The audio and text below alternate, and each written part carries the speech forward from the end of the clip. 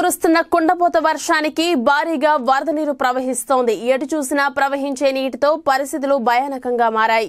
ఘాట్ రోడ్డులో విరిగిపడుతున్న చెట్లు కొండ చర్యలతో పరిస్థితులు ప్రమాదకరంగా మారాయి. ఎప్పుడూ లేనంతగా వైకుంఠం క్యూ కాంప్లెక్స్ సెల్లార్లోకి వరద నీరు వచ్చి చేరింది. మధ్యాహ్నం వరకు ఓ మాదిరిగా పడిన వాన ఆ తర్వాత కుండపోతగా కురుస్తోంది. గతంలో ఎన్నడూ లేని విధంగా వరద నీటి ప్రవాహం భయాందోళనకు గురి చేస్తుంది. ఆలయంలోనికి వస్తున్న నీటిని అగ్నిమాపక సిబ్బంది మోటార్ల ద్వారా తోడుతున్నారు. తిరుమాడ వీధులు రహదారులు నీటితో చెరువులను తలపిస్తున్నాయి. మరోవైపు మొబైల్ సేవలకు అంతరాయం ఏర్పడడంతో ఎక్కడ ఏం జరుగుతుందో తెలియని పరిస్థితి నెలకొంది. అటవీ ప్రాంతంలోని వరద నీరు నడక మార్గంలోని మెట్లపై ప్రవహిస్తోంది. అలిపిరి శ్రీవారి మెట్ల మార్గం జలపాతాలను తలపిస్తున్నాయి.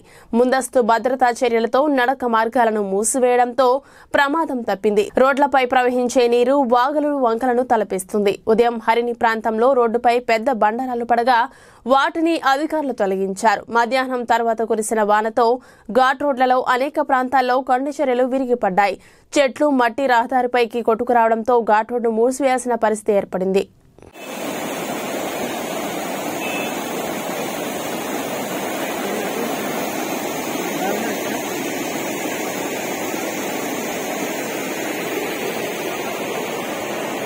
ఈ కాయ వేస్ట్ వచ్చింది